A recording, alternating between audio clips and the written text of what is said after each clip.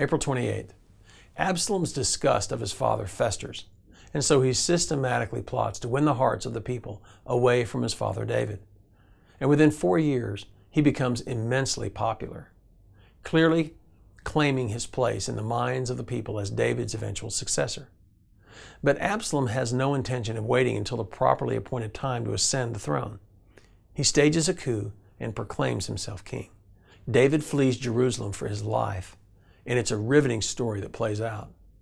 Remember, God hasn't promised David that he would serve out his life as king, only that the royal dynasty would remain within his family. So David doesn't know if he will ever return to Jerusalem as king. In David's mind, Absalom might very well succeed in taking his throne. In fact, chapter 15, verse 25 and 26 reveals David's attitude. Carry God's ark back into the city. If I find favor in Yahweh's eyes, he will bring me again and show me both it and his inhabitation. But if he says, I have no delight in you, behold, here I am. Let him do to me as seems good to him. David wasn't resolved to go out without a fight. He also prayed for deliverance from this rebellion, and God answers his prayer in the form of Hushai, a trusted advisor who will serve as a spy for David while this coup plays out. And as chapter 17, verse 14 indicates, Hushai's advice ends up being the difference between success and failure. It's Hushai's advice that saves David's life from what would have been a certain death at the hand of Ahithophel.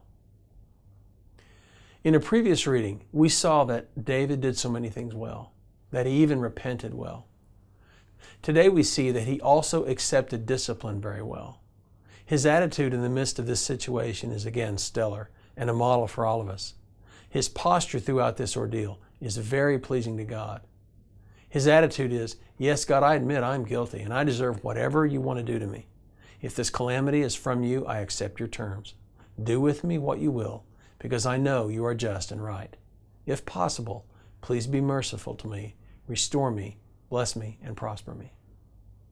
As we've seen in the last few readings, David made very serious mistakes. But David's simple trust in God and his desire to serve God's purpose was his hallmark character quality. It's what made him great.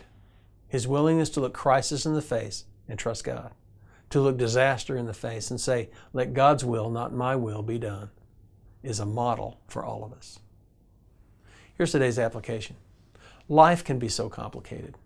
It's so hard sometimes to see the hand of God at work, and it's hard to interpret why things happen.